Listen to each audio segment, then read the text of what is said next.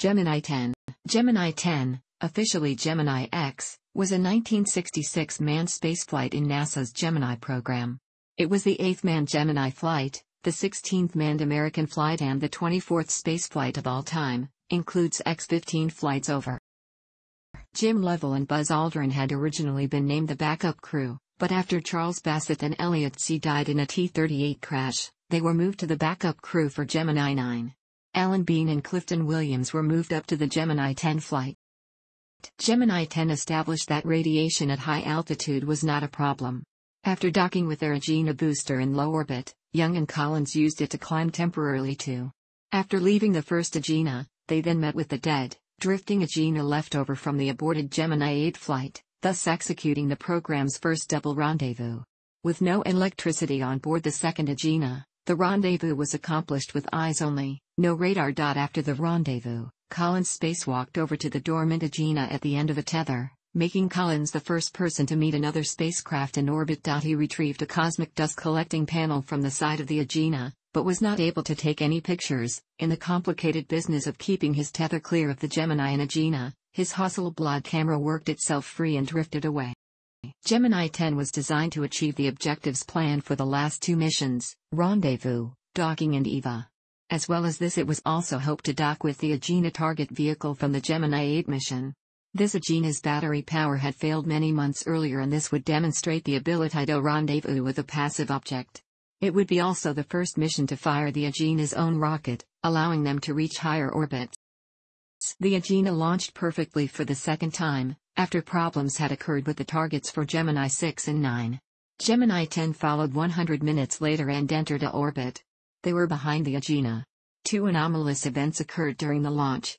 At liftoff, a propellant fill umbilical became snared with air release lanyard. It ripped out of the LC-19 service tower and remained attached to the second stage during ascent. Tracking camera footage also showed that first stage oxidizer tank dome ruptured after staging and released a cloud of nitrogen tetroxide.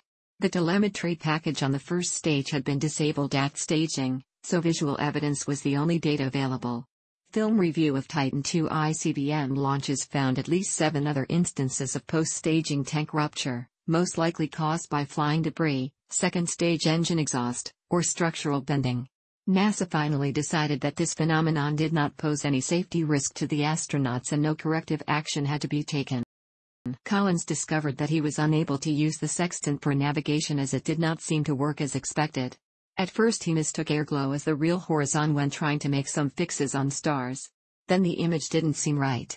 He tried another instrument that they had on board but this was not practical TAOS as it had a very small field of view. They had a backup in the form of the computers on the ground. They made their first burn to put them into a orbit. However Young didn't realize that during next burn, he had the spacecraft turned slightly, which meant that they introduced an out-of-plane error. This meant two extra burns were necessary, and by the time they had docked with the Agena, 60% of their fuel had been consumed. It was decided to keep the Gemini docked to the Agena as long as possible, as this would mean that they could use the fuel on board the Agena for attitude control. The first burn of the Agena engine lasted 80 seconds and put them in the orbit. This was the highest a person had ever been, although the record was soon surpassed by Gemini 11, which went to over. This burn was quite a ride for the crew. Because the Gemini and Agena docked nose to nose, the forces experienced were eyeballs out as opposed to eyeballs in for a launch from Earth. The crew took a couple of pictures when they reached apogee but were more interested in what was going on in the spacecraft, checking the systems and watching the radiation dosage meter. After this they had their sleep period which lasted for 8 hours and then they were ready for another busy day. The crew's first order of business was to mock a second burn with the Agena engine to put them into the same orbit as the Gemini 8 Agena. This was at 2058 UTC on July 19 and lasted 78 seconds and took off their speed, putting them into a orbit. They made one more burn of the Agena to circularize their orbit too. It was now time for the first of two EVAs on Gemini 10. This was to be just a stand-up EVA where Collins would stand in the open hatch and take some photographs off stars as part of Experiment S13. They used a 70mm general purpose camera to image the southern Milky Way in ultraviolet after orbital sunrise. Collins then photographed a color plate on the side of the spacecraft, MSC 8, To see whether film reproduced colors accurately in space. They re entered the spacecraft six minutes early when they both found their eyes were irritated, which was caused by a minor leak of lithium hydroxide in the astronauts' oxygen supply. After repressurizing the cabin, they ran the oxygen at high rates and flushed the environment system. After the exercise of the EVA Young and Collins slept in their second night in space. The next morning they started preparing for the second rendezvous on another EVA. After undocking from their Agena, the crew thought they sighted the Gemini 8 Agena. It however turned out to be their own Agena away, while their target was away. It wasn't until just over away that they saw it as a faint star. After a few more correction burns, they were stationed keeping away from the Gemini 8 Agena. They found the Agena to be very stable and in good condition. At 48 hours and 41 minutes into the mission, the second EVA began. Collins' first task was to retrieve a micrometeorite collector, S-12, from the side of the spacecraft. This he accomplished with some difficulty, similar to that encountered by Eugene Cernan on Gemini 9A. However, the collector floated out of the cabin sometime later during the EVA and was lost. He next traveled over to the Agena and tried to grab onto the docking cone but found this impossible as it was smooth and had no grip. Collins used a nitrogen-propelled handheld maneuvering unit, HHMU, to move himself towards the Gemini and then back to the Agena. This time he was able to grab hold of some wire bundles and retrieve the micrometeorite collector, S10, from the Agena. He decided against replacing it as he could lose the one he had just retrieved. His last task on this EVA was to test out the HHMU. However this stopped working and meant they finished the EVA after only 39 minutes. During this time, it took the crew 8 minutes to close the hatches they had some difficulty with the umbilical. It was jettisoned along with the chest package by Collins an hour later when they opened the hatch for the third and final time. There were 10 other experiments that the crew performed during the mission. Three were interested in radiation. MSC-3 was the tri-axis magnetometer which measured levels in the South Atlantic anomaly.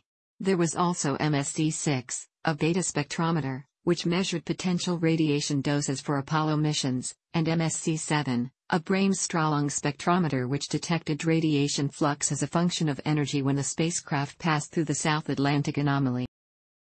S-26 investigated the ion and electron wake of the spacecraft. This provided limited results due to the lack of fuel for attitude control, but found that electron and ion temperatures were higher than expected and it registered shock effects during docking and undocking. The S5 and S6 experiments were performed, which were previously carried on Gemini 9A. These were synoptic terrain and synoptic weather photography respectively. There was also S1 which was intended to image the zodiacal light. All of these experiments were of little use as the film used was only half as sensitive as Gemini 9A and the dirty windows lowered the transmission of light by a factor of 6. The crew also tried to perform D5, a navigation experiment. They were only able to track five stars, with six needed for accurate measurements. The last experiment, D10, was to investigate an ion sensing attitude control system. This experiment measured the attitude of the spacecraft from the flow of ions and electrons around the spacecraft in orbit. The results from this experiment showed the system to be accurate and responsive. The last day of the mission was short and retrofire came at 70 hours and 10 minutes into the mission.